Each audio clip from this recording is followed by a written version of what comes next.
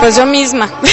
yo misma, es la primera vez que la veo así en grande, en grande, grande y con público y es una revelación. Totalmente, ¿eh? ¿Qué, qué, qué te costó, Edith, al hacer la- esta película, Deseo? Eh, Son muchas cosas. Es, es una película, yo creo que estéticamente es una película muy valiosa. Tiene un gran valor. La música es hermosa y el- la película pues tiene un formato distinto. ¿no? Es una película de un formato, entonces a mí me gusta. Vamos a ver qué opina el público. Así es. Y el elenco, ¿qué, te- ¿qué me puedes decir del elenco, Edith? Yo creo que es un elenco muy lindo, yo creo que es una película muy bien actuada, muy bien dirigida a nivel de actoral y hay grandes sorpresas, ¿no? O sea, Paulina eh, ha tenido una transición, es una niña, es una bebé.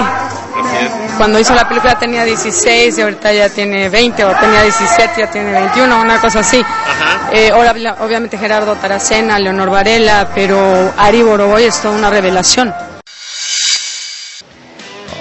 Qué bárbara Edith González. Bien guapa que se ve. Siempre ha ¿eh? sido muy guapa. Demasiado. Sin comentarios. Sin comentarios. Sin Pero comentarios, ayer sin se habló, comentarios. ¿Y sabes qué nos decía de que ella en esa película Deseo pues estuvo como produciendo, eh, produjo un poco la película y que pues no es mala ¿Metió idea su de- lana o cómo? Metió un poquito de... consiguiendo patrocinios. Ah, ok. sobre todo. Pero que no descarta eh, eh, pues ahora sí que producir, ¿no? Sus tiene toda la experiencia, proyectos, sí, bastante. Es muy buena actriz, de las mejores actrices en México. Bastante guapa, este, y, y, pues tiene sus to- ahorritos. no toma, no se desvela, nada toma ocho vasos de agua diario. El cutis que tiene es hace impecable. yoga y todo el rollo. Tiene una entonces- niña bien bonita Sí, bastante. y muy buena persona. y no descarta y no descarta producir otra película el otro año. Pues ojalá. Y que sea igual que la de anoche, así, sin ropa.